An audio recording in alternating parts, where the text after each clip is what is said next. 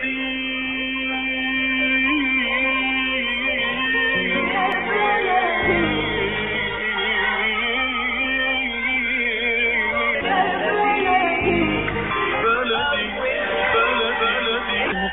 الذين ينضموا للاستماع إلى راديو بلدي اول راديو عربي أمريكي ويعنى بقضايا العرب في المهجر.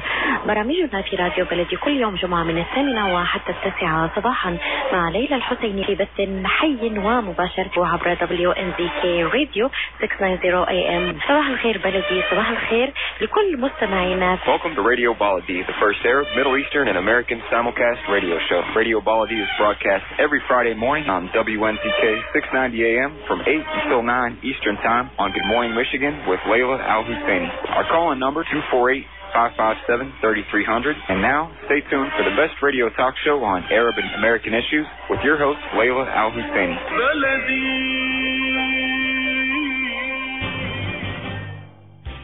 This is Dr. Sahar Khamis. Join me on the third Friday of each month at 8 a.m. Eastern Standard Time.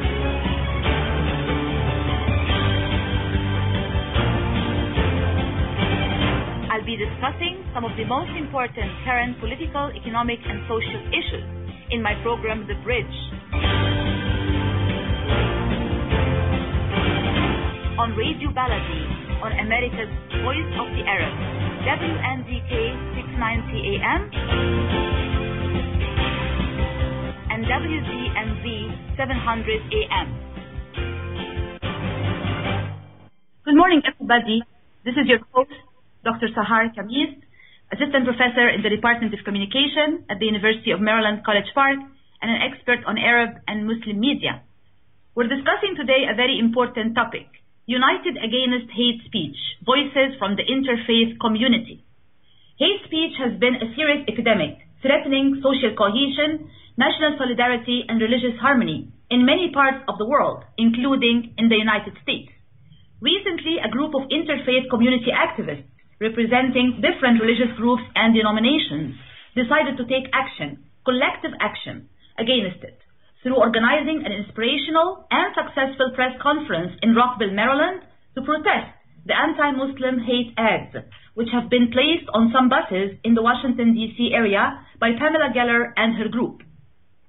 Three distinguished religious leaders from the Jewish, Christian, and Muslim faiths are joining us today to discuss how and why they got actively involved in combating all forms of hatred, prejudice, and discrimination and promoting interfaith dialogue, tolerance, and coexistence. They will shed light on what constitutes hate speech, why it can be a serious problem, what could be done in order to fight it, and why it's important to have different members of faith communities express solidarity by joining hands and standing up for and with each other in the fight against hate speech. My first distinguished guest today is Reverend Abhi Janamanchi, who serves as a senior minister at Cedar Lane Unitarian Universalist Church in Bethesda. He was born and raised in southern India and is a third generation member of the Brahmo Samaj, a Unitarian Hindu religious movement with strong spiritual ties to Unitarian Universalism. He has been actively involved in interfaith activities for over two decades, including serving as president of the International Association for Religious Freedom, the world's oldest interfaith organization. He has, he has a bachelor's degree in physics from Andhra University in India and has completed graduate work in quantum mechanics and solid state physics uh, at the same university. He has a master's degree in divinity from Meadville Lombard Theological School in Chicago, and he uh, has been actively involved in interfaith work for a long time. Before joining Cedar Lane in August 2013, he served for 14 years as senior minister at the Unitarian Universalist Congregation in Clearwater, Florida. My second distinguished guest is Rabbi David Shneyer, who is on the executive committee of the Faith, Communi- of the Faith Community Working Group of Montgomery County. He is the founder and director of Am Kollel Jewish Renewal Community. He studied at the Jewish Theological Seminary and in Israel, in addition to earning degrees in Judaic Studies from Rutgers University and Baltimore Hebrew College. Rabbi David is the past president of OHALAH, the Rabbinic Association of Jewish Renewal Rabbis. He is also an accomplished musician, a founder of Jews United for Justice, and an active member in the Chesapeake Climate Action Network and Rabbis for Human Rights. He's the founder of Yachad, the Jewish Housing Development Organization, and a former officer of Manna Food Center. Rabbi David is also the spiritual leader of Kehila Chadasha, a Havurah Fellowship community based in Bethesda, Maryland. My third distinguished guest is Imam Haytham Younis, who is a Muslim teacher, lecturer, and imam, who has been involved in Islamic education for many years. He studied Arabic and Islamic studies at the Islamic University of Medina in Saudi Arabia, where he resided from 1990 till 2002. Imam Haytham exhibits a keen ability to communicate information about Islam in a clear and enjoyable manner to American audiences. Since returning to his native country, the United States, he has been busy teaching, lecturing at schools and houses of worship, counseling prison inmates and others, delivering Friday sermons, and leading congregational prayers in the greater Washington, D.C. area. Imam Haytham is also the co-founder of JID, the Jewish Islamic Dialogue Society in the Washington, D.C. area, an organization dedicated to bringing together Jews and Muslims in order to help them gain better understanding of each other's religions and to help them to promote justice and work for peace in the world. Welcome to the show, everybody, and thank you very much for joining my program today. Thank you for having us. Thank you. Thank Good you. morning. Thank you. Good morning. Good morning. I would like uh, to ask each one of you to briefly give us a definition of what constitutes hate speech from your own perspective. Just one or two sentences to describe what is considered to be hate speech. I'll start with Rabbi David, please. Uh, first of all, good morning. Sabah. Uh, uh, there's a term in uh, in Hebrew. It's called uh, lashon hara, um, the evil tongue or the misuse of language. Um, it's uh, uh, the overall term for for hateful speech, for slander, for gossip.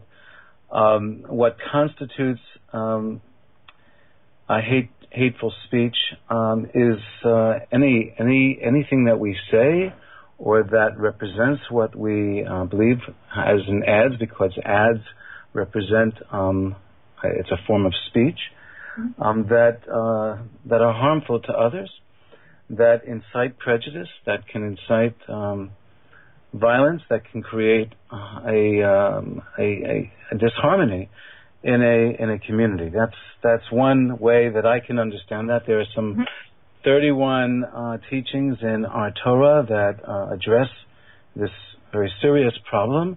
Um, it's considered um, extraordinarily um, uh, wrong to uh, to slander others and to and to speak harmfully of others, uh, either as individuals or as a group. Excellent. Thank you so much. And Reverend Abhi, if I may ask you the same question, how do you understand or define the concept of hate speech? Uh, sure. And again, uh, good morning, and uh, thank you for inviting me to be on your show. Uh, Thank you for being here. Assalamu alaikum. Alaikum salam. I, I pretty much, uh, you know, uh, Rabbi David uh, uh, encapsulated uh, uh, what hate speech uh, means.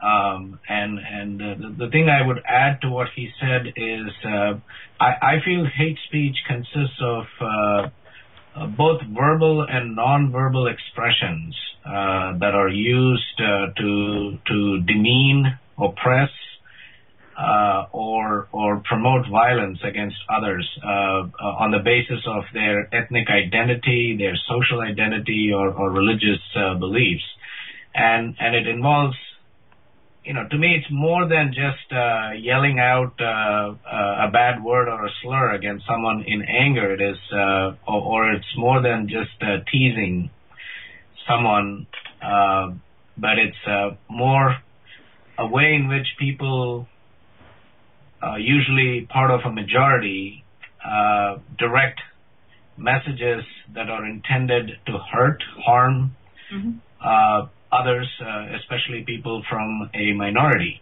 Um, and, and they're also designed to degrade and uh, harm uh, people for the same reason. Uh, so examples are, uh, you know, uh, anti-Semitic uh, symbols uh, spray painted on on synagogues. That uh, you know we've had situations here in Montgomery County recently. Yes. Uh, ethnic slurs or derogatory labels for a group. Uh, you know, burning a cross in someone's yard.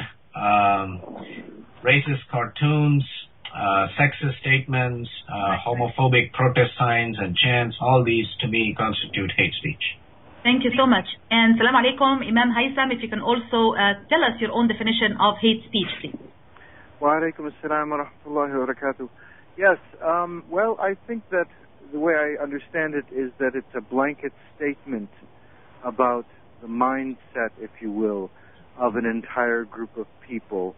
And with respect to these days, what's going on with Islamophobic statements, um, it seems to be a kind of thrust to put in mi- the minds of people that that Muslims are, uh, you know, geared to a certain agenda, and that they are all unified in this agenda. One of the most insidious things is the uh, the references to um, uh, taqiyya, which is uh, taqiyya, which is hiding, um, and and it's a misinterpreted concept. But anyway, it's you know hate speech uh, throughout the ages has all had basically the same uh, the same goal, which is to to lump a group of people into a category of being you know uh, united in, in some kind of insidious thing to dehumanize them, um, and there's always some political agenda behind that as well. So Mhm. yeah, that's what I would say.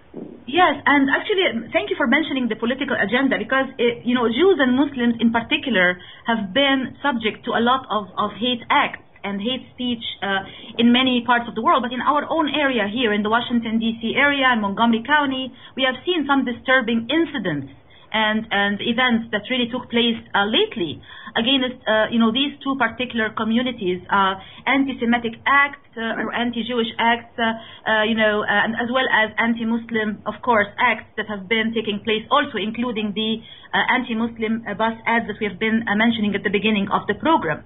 I want to know two things here. What triggers these kind of acts, you know, against against minority groups like Jews and Muslims uh, in a country like U.S. What would make someone go out and commit these kinds of of acts, and what could really be done in order to fight it? I'll start with Dave, with uh, Rabbi David, please. Well, it's uh, uh, not an easy question to to answer. Uh, I think the uh, I think fear has a lot to do of with um, with this kind of approach to others. Uh, fear, uh, insecurity, um, uh, family history. I understand that um, the the woman who um, was responsible for the ads, um, the anti-Muslim ads. Mhm. I understand that her parents uh, uh, were survivors of the Holocaust.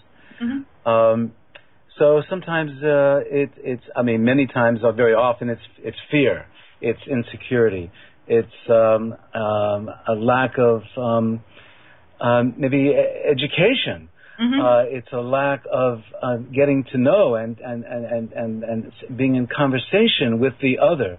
Mhm. Um, you know, this too often is is at the core of the problem where, you know, we're not, you know, just talking to those who we think uh, are against us.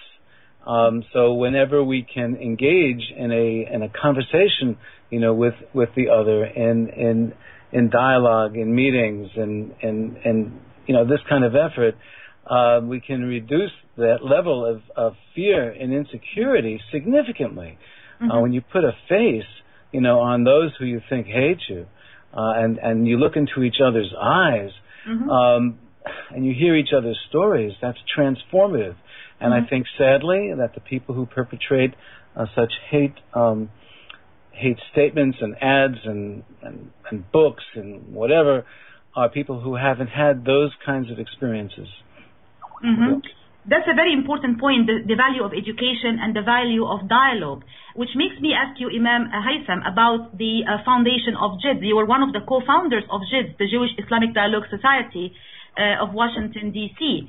Um, you know, we're going to take a commercial break in one minute, but after we come back from this break, I'd like to hear from you about what really uh, triggered the uh, formation or foundation of JIDS and why it's important in fighting these different forms of hate acts and hate speech. Uh, stay tuned with us. We'll be back right after this commercial break.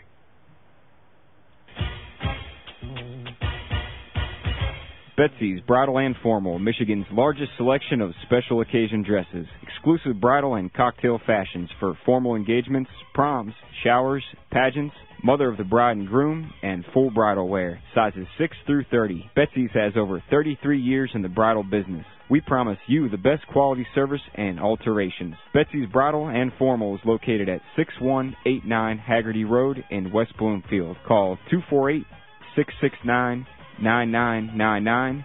That's 248 669 9999.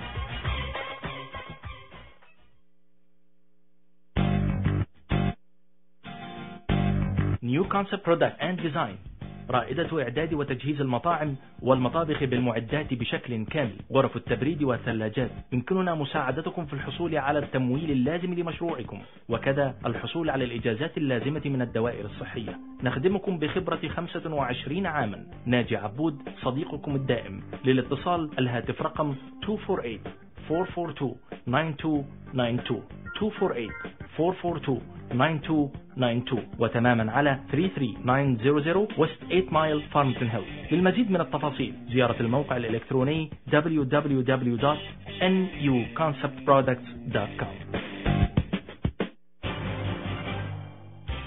This is Dr. Sahar Khamis.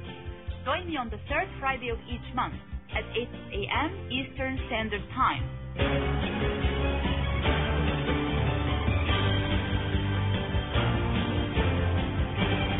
I'll be discussing some of the most important current political, economic, and social issues in my program, The Bridge.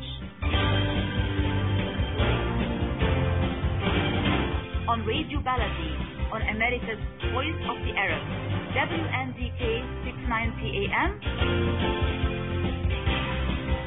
and WDMV 700 AM. Welcome back, everyone. Right before going to the commercial break, we were talking about what triggers hate speech and what would be the best ways to fight it. Uh, Rabbi David Shneyer mentioned the importance of education and the importance of having dialogue with others.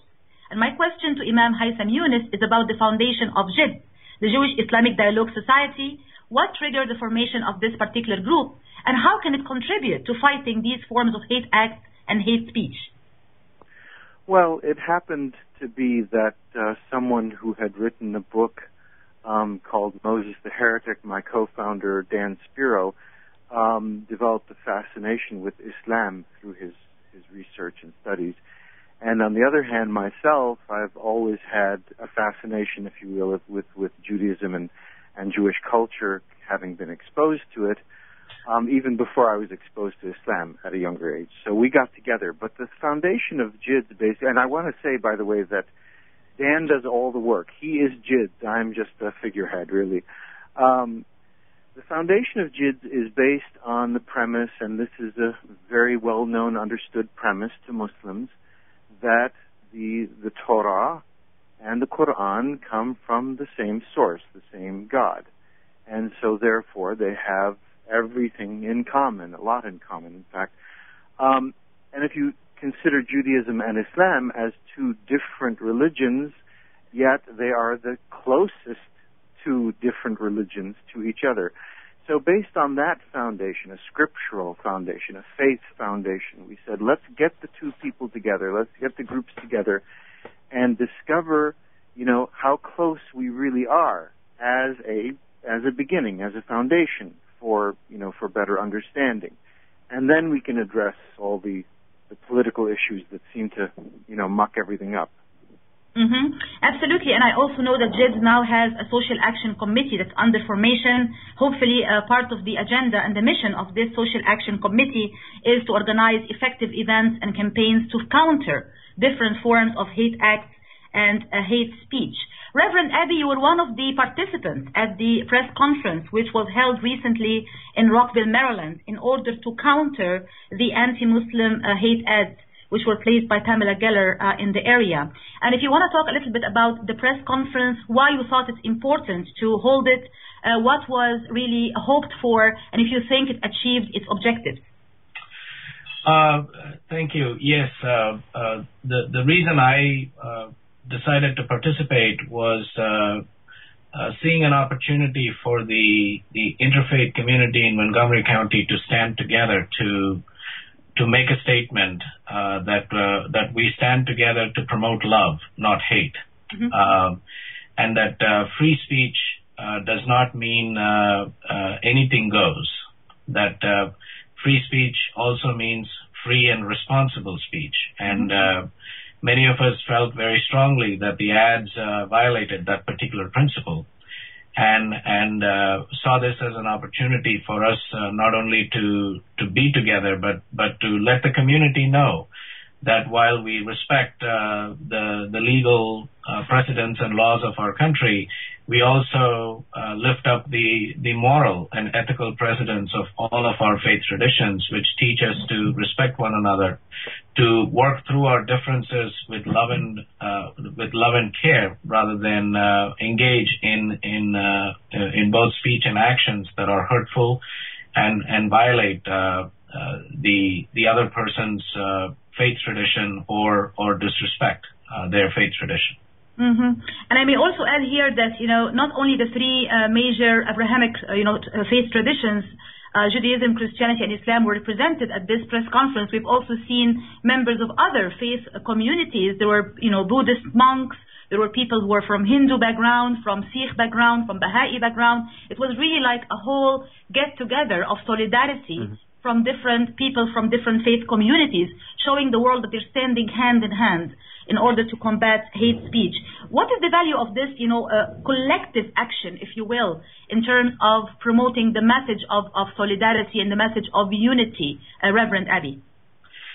Uh, it, it uh, conveys many things. Uh, uh, you know, the, the thing that comes to mind is it was it was a wonderful representation of the pluralistic fabric of our country, mm-hmm. and and that Montgomery County uh, in many ways is is a great example of uh, of uh, uh the multicultural pluralistic nation that the United States is, uh, and uh, it, it also emphasized the the core principle of of interfaith dialogue and engagement, which is the free exchange of ideas, and and in that sense promoting uh, both creativity and and uh, common work together, but also recognizing that that our differences uh, need not uh, be sources of division, but instead that our differences can actually unite us uh, for common purposes that concern us all. Absolutely. This is very well said. And on this note, I want to ask Rabbi David Shneyer about this whole point about, you know, Jewish and Muslim relations. As you know, the bus ads try to send a negative message against Muslims and Islam, but part of the claim that this ad made was that the hate of Jews is something that is mentioned in the Quran, which is of course a false claim. And I want you to talk a little bit about the uh, importance of correcting these types of misperceptions as well as the best way to build strong Jewish-Muslim relations. You know, it is no secret that Jews and Muslims have been coexisting for centuries in many parts of the world, but there has been a negative spillover from political conflicts uh, that somehow affected this relationship. So can you talk a little bit about this, please? Sure. Um, I uh, there's so much actually to to address um, uh, here. I, uh, for years, um, and more so since 9/11, uh, there has been a concerted effort, uh, certainly in the Washington D.C. area, um, to to to create bridges between our different faiths and communities. Um, you know, uh, some 30 years ago, uh, there was essentially one organization in the Washington area devoted to interfaith work, and that was the Interfaith Conference of Greater Washington, D.C. Now there are more than uh, 20, perhaps 25 or more um, organizations, interfaith organizations that uh, are, are, addressing uh, these issues.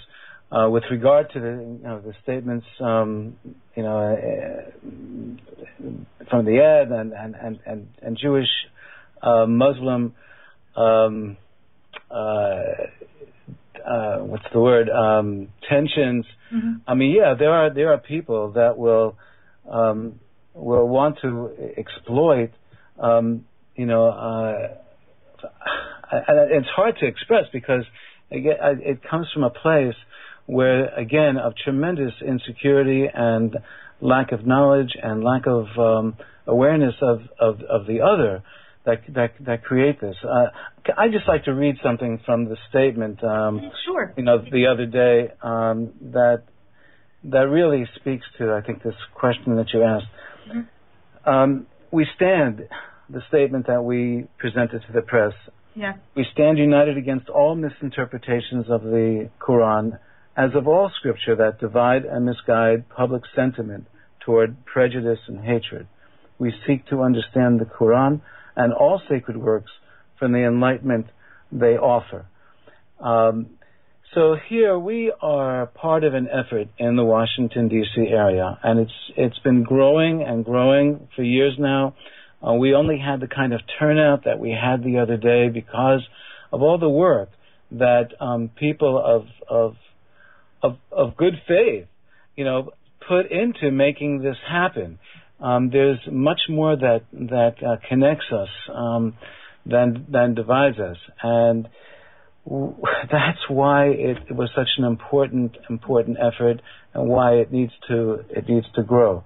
Um, I'm not sure if I specifically answered your your question. Uh, I, no, I think it's a great answer. I think it's a great answer and speaks volumes to what unites, you know, rather than divides different faith communities, you know, including Jews and Muslims. But maybe in the case of Jews and Muslims in particular, as I mentioned, there has been an unfortunate spillover from the political arena that somehow kind of troubled or, or created tension, as you mentioned, in the relationship between Jews and Muslims who have been otherwise coexisting for centuries in peace and harmony in many parts of the world. So I, I, you know, if you want to talk a little bit, just more, a little bit about this particular point, what could be yeah. done in order to rectify or overcome this major hurdle?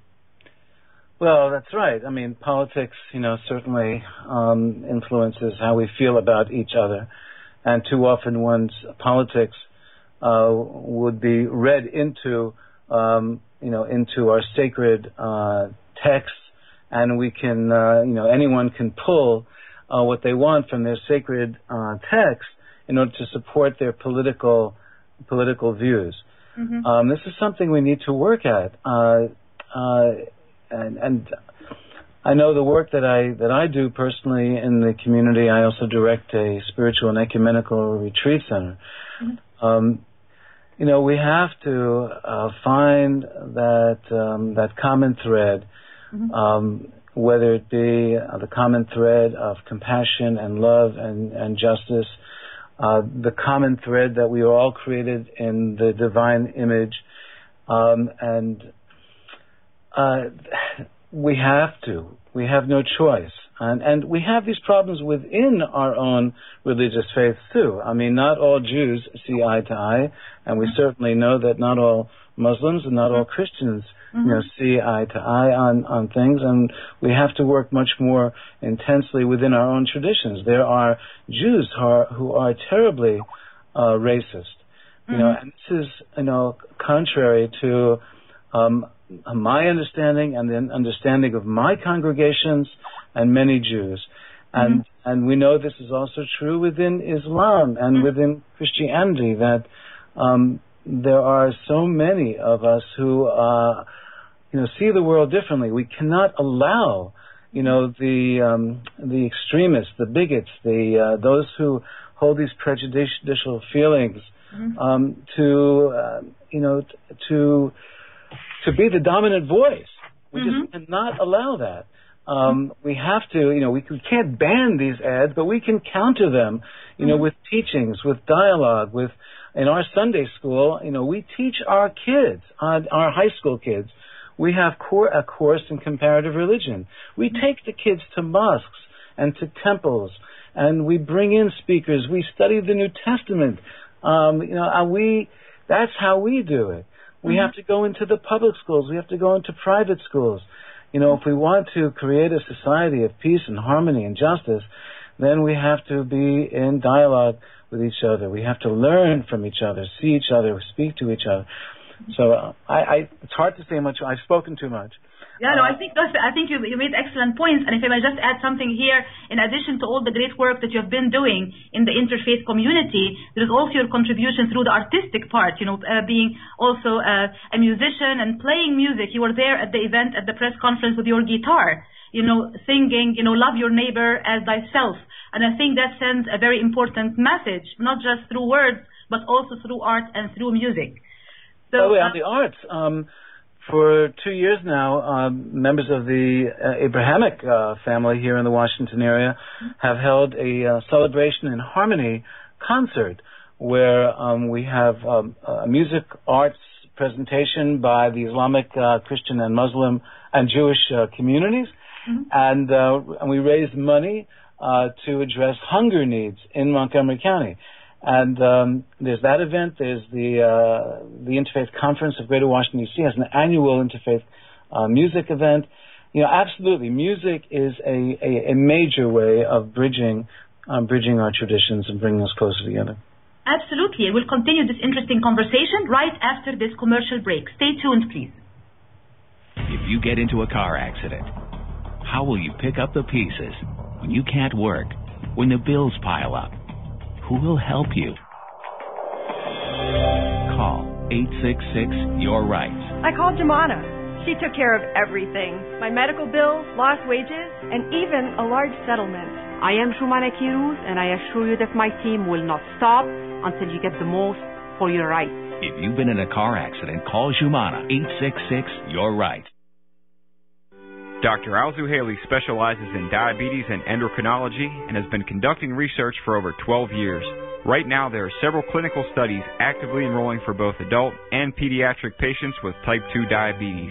Under Dr. Alzu Haley's care, participants in the clinical research trials receive free lab work, medical procedures, medical supplies, and medications to assist in their treatment. Qualified participants are also compensated for their time and travel in addition to receiving top care for their diabetes treatment and control. The research department is equipped with experienced and friendly staff who will work to manage patient care and schedule accommodations. Please contact Alzu Haley Medical Consultants at 1331 Monroe Street in Dearborn. Visit alzuhaleydiabetes.com and call 313 581 8903. 313 581 8903.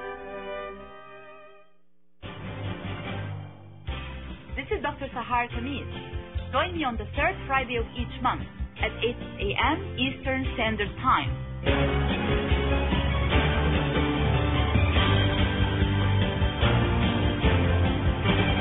I'll be discussing some of the most important current political, economic, and social issues in my program, The Bridge.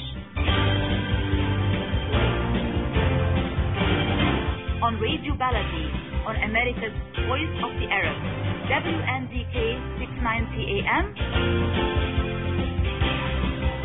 and WDMV 700 AM.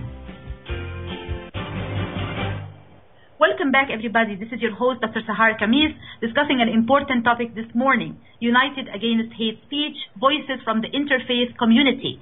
And with me this morning discussing this important topic are three distinguished leaders from three uh, Abrahamic faith traditions Rabbi David Shneyer, Reverend Abhi Janamanchi, and Imam Haytham Younis.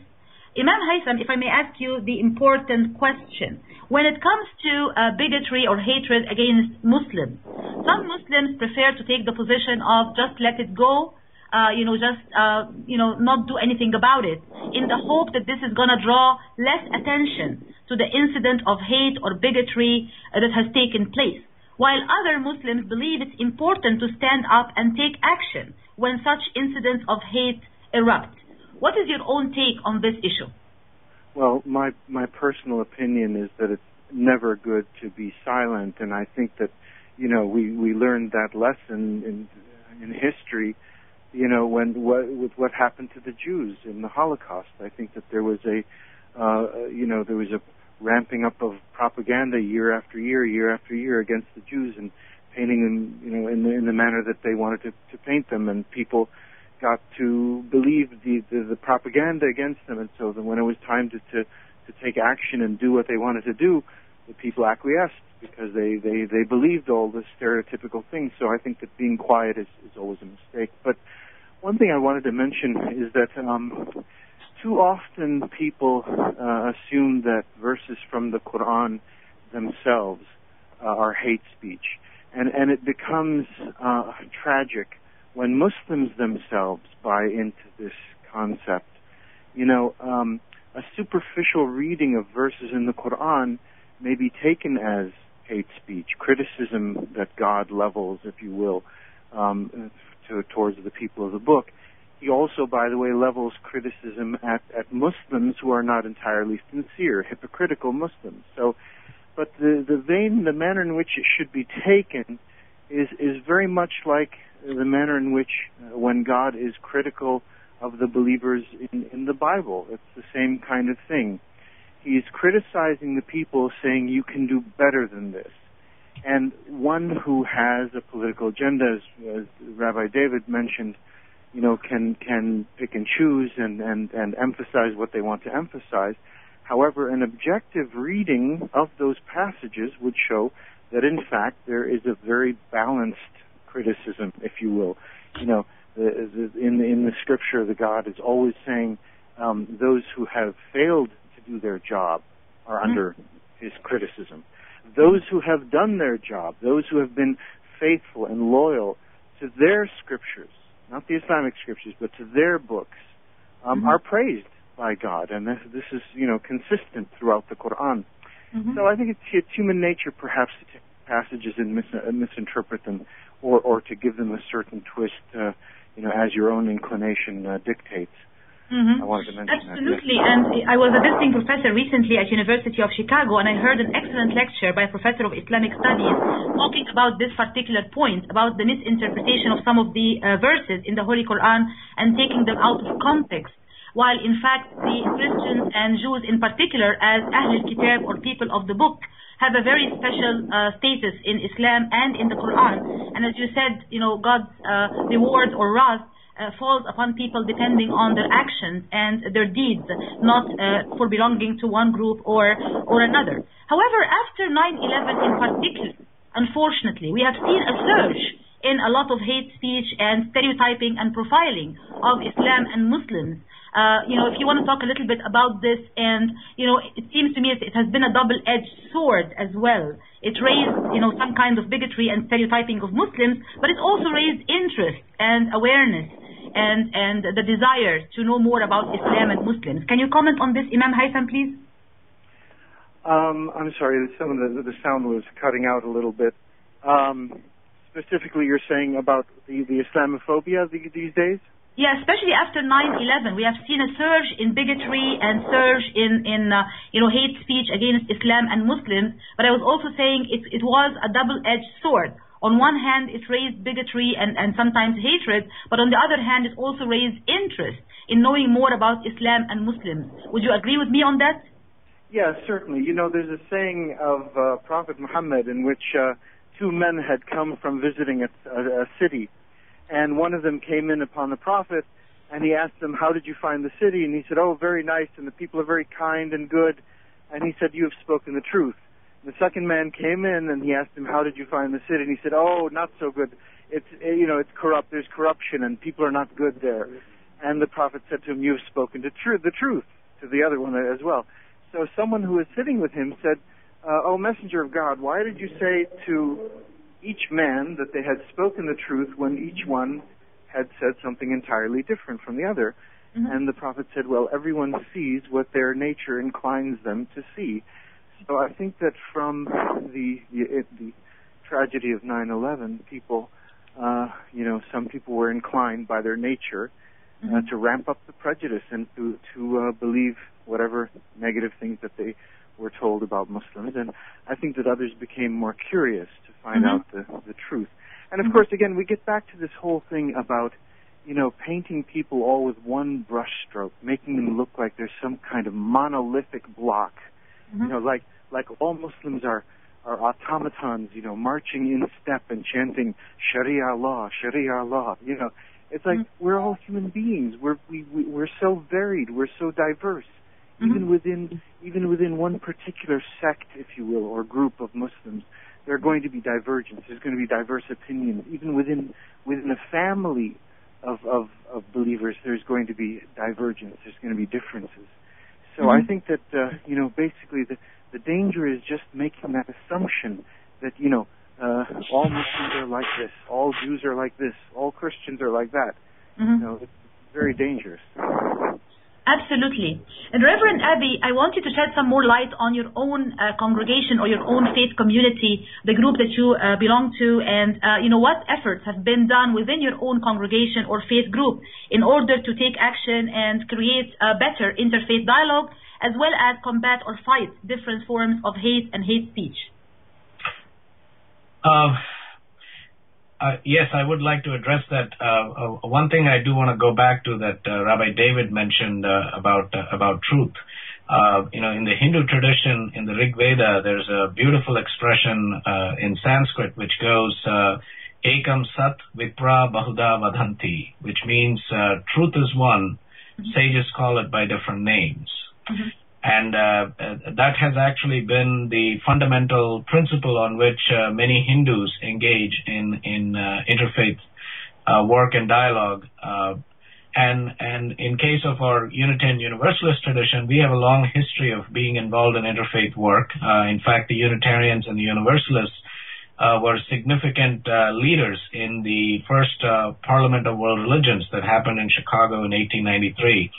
Uh, uh, the prime organizer, Jenkins Lloyd Jones, was a Unitarian minister, and many of the speakers were Unitarians and Universalists who called for a new world order in which religions would work together collaboratively. A vision that led to the creation of the International Association for Religious Freedom uh, in 1900 in Boston, uh, which again was uh, formed by Unitarians, Universalists, and members of the Brahmo Samaj, the group that I come from. Uh, and, and the reason for us uh, uh, being so committed to, interfaith work uh, over uh, more than uh, a century uh, is because we uh, stand in the tradition of uh, the freedom of expression, uh, the free pulpit and the free pew, uh, which uh, asserts that uh, a minister or a lay person must be uh, free to express uh, their values without restrictions and uh, uh, and so you know free speech uh, and and freedom of expression is is essential to us uh, because it is with free speech we believe we as a religious movement as well as other other faith traditions as well as in civic society were able to challenge uh, limitations our government put on the possibilities for the quality of life of people uh, whom it had uh, labeled as somehow less than human uh, in in the past, uh, like African Americans, like women, and of course uh, gay and lesbian people. Uh, but at the same time, you know, we also recognize that uh, the quest for spe- free speech is the recognition that others must also have the same right. Uh, that it's not a one-way street. And and uh, that it's not a good excuse for acceptance of lies, uh, for being destructive, of uh, community values or inciting violence against others. Uh, which is why one of our principles uh, talks about uh, affirming and promoting a free and responsible search for truth and meaning.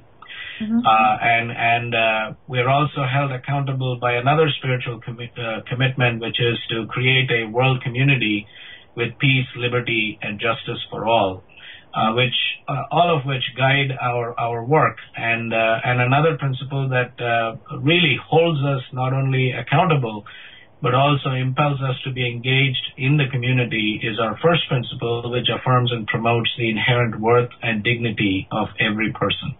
hmm And you also mentioned at the beginning of the program that there's a difference between hate speech and free speech. You know, Yes. uh, having freedom to talk and to express yourself and express your ideas is not the same as having freedom to slander or libel or attack others. Uh, this is a very, very important point as well. I don't know if you wanna. I think I think it was uh, it was Stephen Leacock uh, who said, uh, uh, "My liberty ends where the other person's nose begins."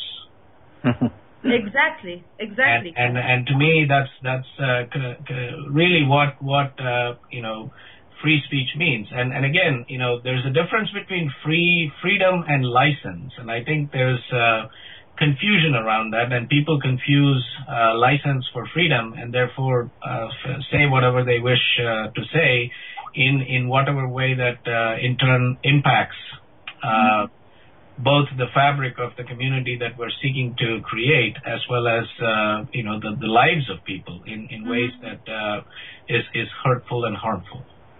Absolutely, this is a very important point. You know that there is this, you know, uh, fine line, if you will, that divides or separates uh, freedom of speech, freedom to express yourself, express your thoughts, ideas, and beliefs, and actually the uh, stepping over uh, other people's rights and liberties, which is a very important point. So we're gonna uh, visit the regulation of of speech after this commercial break. Stay tuned, please. Ziad brand. Quality products from our family to yours. Ziad Brothers Importing offers the finest quality products, including brands like Sultan, Kraft, Nestle, Hook, Rico Picon, Donna, and many more. Ask your retailer to carry these fine products because you deserve the very best. For more information, visit our website at www.ziad.com. That's www.ziad.com. Ziad, quality products from our family to yours.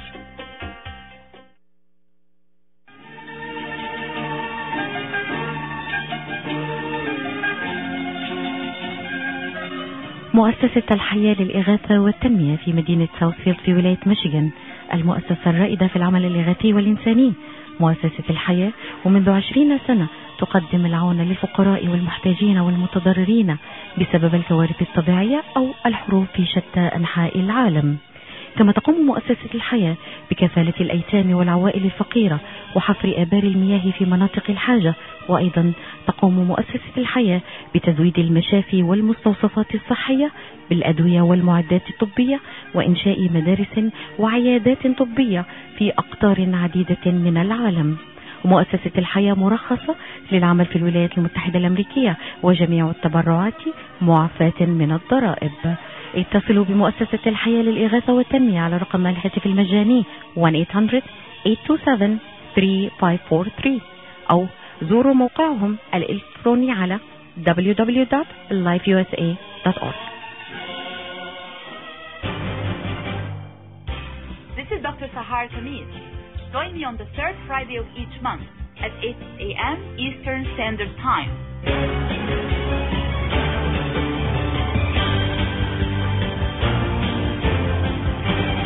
I'll be discussing some of the most important current political, economic, and social issues in my program, The Bridge. On Radio Baladi, on America's Voice of the Arabs, WNZK 690 AM, and WDMV 700 AM. Welcome back to the show, everybody. This is your host, Dr. Sahar Khamis, and with me this morning are three distinguished leaders from the interfaith community Rabbi David Shneyer, Reverend Abhi Janamanchi, and Imam Haytham Younis, discussing the important topic of the importance of being united against hate speech. And right before the commercial break, we were talking about the regulation of hate speech. Some countries in the world, uh, some countries in Europe, for example, in Canada, have taken legal action to actually consider hate speech illegal and to ban it from the legal perspective. Uh, you know, I want to just get some thoughts from my distinguished guest this morning on uh, their opinion on this particular issue and what other strategies could be used in order to combat or fight hate speech. Reverend uh, Reverend Rob, Abhi, if you might give us your thoughts on this quickly, please.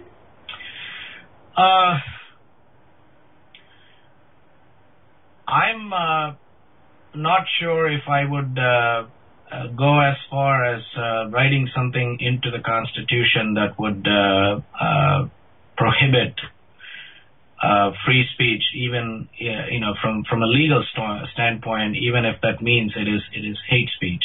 it's just that because the First Amendment, as it stands, has specific legal categories of exceptions. for example uh, if if uh, you know if there if it if something advocates violence or a captive audience, and I'm you know quoting from the First Amendment Center's uh, website here, uh, if if it is child pornography or violation of copyrighted expression, false statements, fighting words, fraud, interference with someone else's fundamental right, obscenity, private property, trade secrets, and truth threats. Mhm. Uh, all of that go against uh, uh, the the uh, the spirit of the First Amendment. Uh, so I feel hate speech that way uh, is already uh, uh, considered to be a violation of the First Amendment. So I don't really see the need for an explicit uh, um, uh, prohibition uh, in that sense. So that that's just where I am with it. Hmm Rabbi David Shneyer, if you uh, can give us your thoughts on this issue, please. Um, I, I agree uh, with with Reverend A- Abhi. I I, I think uh, it would be really uh, really difficult and um, uh, to to to create some some uh, re- regulation uh, here. I, I think the the more important thing is how do we foster internal regulation of Mhm. ourselves um, within our own communities, um, uh, within the the media. Um, there needs to be a stronger uh, moral voice, a voice of conscience uh, out there um, that that helps uh, to guide um, civility in in our conversations uh, in in the media in the in of all you know th- throughout this country and um, so that how does that happen how do how does that internal regulation you know take place that's I, for me that's the that's the bigger question and and I know that when we do things like um like I've been invited over the past number of years to iftars Mm-hmm. um, I mean that, tho- that those invitations are precious. Uh, Mhm. We've had um, uh, members of the Muslim community to our high holiday services and and to our seders. And um, last year, uh, uh, Hedia, who is one of the leaders um, uh, the, the Muslim community here in uh, Montgomery County, uh, spoke at our high holiday services. Um, that kind of you know that changes things, and that's the internal regulation that we all need to encourage around the country to to get involved legally would open up a Pandora's box, and um, I'd be very concerned about about that. We have to counter counter um, prejudicial language and hateful hateful language um, in these other ways. Very good, thank you. And Iman Haytham Younis, if I can get your thoughts on this, please. Oh yeah, of course. I, I fully agree. It's a matter of education and, and especially dialogue. And I think that um, uh, Rabbi uh, David said it well when he said, you know, you you meet the other person, you put a human face on the other, and, and I Mhm. think that, that that's essential. But as far as you know, legislation, you know, how how could you uh, possibly do that? hmm I mean, like in, if you were in Europe or in Canada, certain forms of hate speech would be considered banned, would be considered illegal. But here in the U.S., under the, you know, the First Amendment to the Constitution, there are certain protections that would make it hard to actually, um, you know, ban legally certain forms of speech, even if they uh, include sometimes what we describe as hate speech. But it seems to me that the three of you are on board with the importance of, you know, what uh, Rabbi David called internal regulation and also the work within the interfaith community to bring about better understanding of the other and to build stronger bridges of, of uh, coexistence and tolerance rather than uh, taking the legal route. Uh, uh, Imam Haytham, would you like to talk a little bit more about this or give us your thoughts on it? Um, well, you know, uh, you know, again, it's it's a little bit difficult to get people out of their shell, obviously, especially when there's, you know, fear involved. Fear is a very basic motivating factor, and um, but I think that an effort has to be made, and it has to be across the board. You know, just because we happen to be the, uh, you know, the, the group that's that's under attack these days um, you know, we shouldn't be singled out, or we, should, we shouldn't be focused on as if we're, you know, a special, uh, special case. I think that we have to just, you know, uh, attack fear and and hate across the board, you know, Mhm. and just, just get people to to dialogue. I really think that, you know, actually meeting people from the other group is very important. Absolutely. Well, that's why initiatives like JID, the Jewish Islamic Dialogue Society of Washington, D.C., uh, initiatives like that and other initiatives uh, in the area are very important to bring about this personal uh, you know, communication with the other and, and building bridges of understanding. I did ask, uh, I asked Imam Haytham earlier about the uh, two different options that some Muslims take. Some of them decide to act out and speak up against such uh, hate uh, incidents, while others prefer to just let it go and not act uh, according to it in, all, in the hope that it will just go away. Rabbi David, I want to get your thoughts on this. What is the danger, what is the problem that can happen if people decide just to let it go and not do anything about it? Well, uh, it'll just get worse. Um, if people feel they can uh, get a, you know, if, if, this is not countered, you know, through um, all these efforts that we've been mentioning, um, then, you know, these uh, that voice will be heard, and uh, and and people who are um, susceptible, who, who who feel insecure, will be drawn to that to that voice, and it can only increase um, the the problems that that we've been uh, experiencing, and not just here, but uh, around the world. Um, you know, so the more we do to, again, it comes back to creating. I mean, why can't Homeland Security spend mm-hmm. some of the millions and millions of dollars that it gets, mm-hmm. you know, on this kind of work? You know mm-hmm. what? You know JIDS is a small organization. There should be a JIDS in every community throughout uh, throughout this country. You know why? Why isn't there? You know, mm-hmm. because partly because of the will, because uh, this this government is not putting its money, you know, behind these kinds of efforts. Every person in Congress, every staff person should receive an education, you know, in what these uh, these these religions are about, you know, in their even in their various interpretations. Mm-hmm. Um, I know Hedja actually, uh, one of our leaders, has been uh, doing that in in in a, in a very limited way. Mm-hmm. Uh, this needs to be expanded, um, and I would say that we, as an interfaith community, need to take you know this cause to uh, to um, to, to those agencies agencies in the government that um, are, are, are serious about creating a more peaceful society. Mm-hmm. Absolutely, I totally agree with you. And Reverend Abhi, uh, if you can also uh, comment on this particular point, the danger of not taking action or not doing anything when, uh, you know, hate speech or hateful acts actually take place. Yes, uh, you know, uh, when when the Imam was talking about uh, fear, you know, I was reminded of what Dr. King once said that fear is an elemental alarm system which warns us of approaching dangers, but without which uh, humanity could not have survived. Uh, and and so he was talking about our ability to grow and to create, and and actually make uh, deeper connections by working our way through our fears. Mm-hmm. and then in that sense, he was saying fear is normal and necessary for human growth. Mm-hmm. but going back to what you just asked, you know, uh, there's been an effort for many years now to create a Department of Peace mm-hmm. in our country. You know, of course, it's been uh, dismissed as uh, as uh, you know liberal speak, and and that somehow uh, you know it's it's not in keeping with uh, the safety and security of our nation. But but the rabbi is absolutely right you know, we need to be investing not just human resources, but some of our material resources to strengthen the fabric of our community and promote ways in which people can come together. Mm-hmm. Uh, not only learning about each other, but but celebrating what they have in common, and and to uh, you know use the plural, the pluralistic values uh, that that undergird our society and and uh, use that as a model. And that is why I feel you know we have pretty good laws and and uh, uh, and rules that guide our our being a, a civic and free society. So mm-hmm. uh, it's it's a matter of how we apply them and how we guide our our work together. That that will determine how we can be uh, not only a peaceful nation but a model for the world.